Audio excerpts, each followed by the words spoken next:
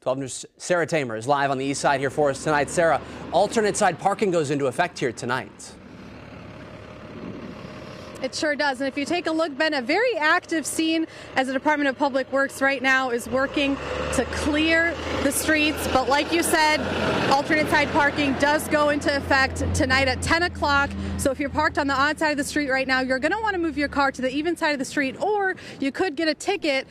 Uh, now, again, it goes into effect 10 o'clock tonight until 6 o'clock tomorrow morning. We did catch up with some people who are staying ahead of the game it's part of being aware of the surroundings. So know where your car is, know what day it is.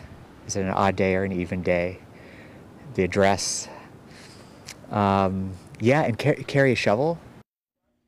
Sarah, we know parking, of course, can be tough where you are on the Upper East Side of Milwaukee here tonight. Are there any other options for people who can't find any mm-hmm. street parking? There is, Ben. Milwaukee Public Schools are offering some of their lots for those who can't find street parking. We do have a full list of those lots up on our website. That's WISN.com. Sarah Tamer live for us here tonight in Milwaukee. Sarah, thank you.